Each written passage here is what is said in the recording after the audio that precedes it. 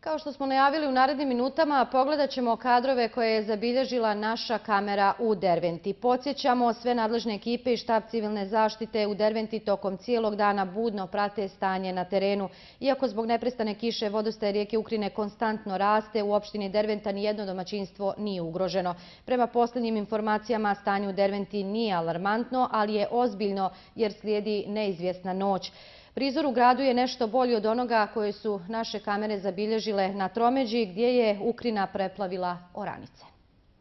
Mnogo sati kiša pada i Ukrina je, nažalost, u stanju kako mjeste, konstantno raste, ne na način kao, ajmo reći, jutros, ali očekivati je i noćas. Noćas će vjerovatno biti e, ozbiljno teška noć i Evo ja ovom prilikom samo mogu apelovati na stanovnike u donjem dijelu grada da neću da budu na oprezu, da budemo spremni, malo podići stvari, može se lako desiti da, da Ukrajina izlije. E, ona još nije dostigla nivo prije 4-5 dana, 6, kad je ono, ajmo reći, bilo malo ozbiljnije, ali ukoliko za 3-4 sata ona će dostići taj nivo i računajući na ove rijeke i, i ove padavine koje se slivaju u Ukrajinu, da će najvjerovatnije biti ozbiljno stanje negdje u jutarnjim satima, ali hoću da izrazim samo jednu malu nedoumicu ili sumnju ili jednu zebnju e, šta će se dešavati na brani e, u Prednjavoru, e, na brani na jezeru, u Vječanima, jer 2010. ipak je to bilo limitirajuće da bude poplava.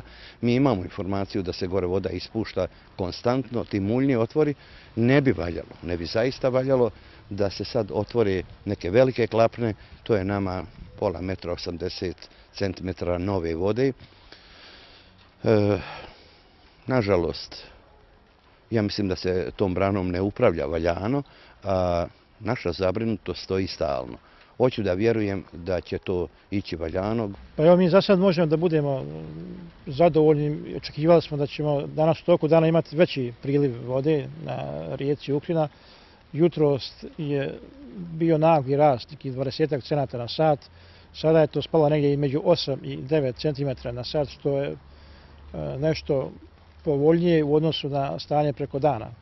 E, šta će se dešavati u toku noći mi još ne možemo tačno reći. Nadamo se da će kiša koja manje pada i prestati, a u tom slučaju mi očekujemo da još nekih 9 do 10 sati uklina nadolazi, što u svakom slučaju će e, opteretiti nivo i postati prijetnja za e, naše građane koji gravitiraju, odnosno koji imaju svoje kuće uz samu rijeku Ukrinu, odnosno oni ljudi koji su, e, nažalost, imali problem 2010. godine.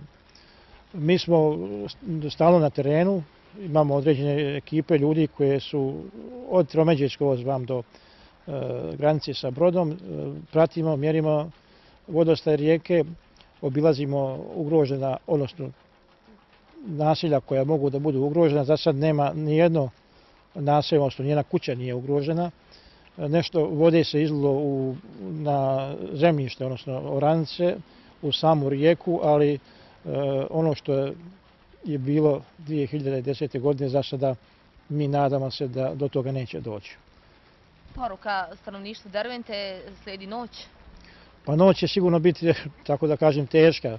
Mislim da moramo da budemo budni svi, pa sami građani moraju da vodi računa o tome da nas ne bi eventualno nešto zateklo u jutarnjim satima, tamo negdje četiri ili pet ujutro, Mi se nadamo da neće, zato što ima još dovoljan nivo korita rijeke Uhrija da može primiti određenu količinu e, vode i iskreno se nadamo da do toga neće doći. Ali bez obzira na sve to, mi smo i dalje na terenu, Stanje u opštini Derventa nije alarmantno, ni jedno domaćinstvo nije trenutno ugroženo, međutim situacija ipak nije bezazlana. Iza mene možete vidjeti sliku Ukrine kod mosta u centru grada.